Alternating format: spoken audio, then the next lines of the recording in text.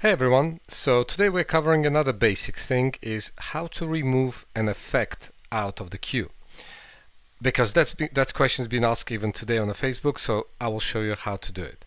Basically, some of you are normally opening up the playback, so we have here, so if you launch this playback, you will be able to see that I have two effects running at the same time. I've got a dimmer, a dimmer chase and I have uh, a circle effect running. So normally some of you will just go here in the view cue, view effect, and you will try to remove it from here. So Unfortunately, you cannot remove it using the view cue because this effect is inbuilt into, into the playback. But it's really, really easy to remove it there using the include and update command. And I'll show you in a second how to do it. So I want to remove, say, circle effect out of this playback. To do this, you press include, then you click on your playback.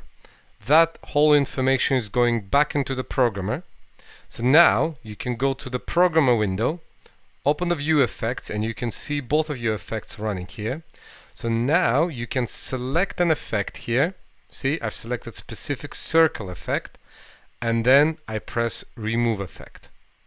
Okay, so the effect has been removed. All you do is now press update and clear. So now when you run an effect, uh, when you run a playback, the effect is already gone. You can double click and go in the view cue, you can see it has been removed. Again, this is all basics, but I hope you find it useful. Thank you very much for your time and have a lovely evening. Bye bye.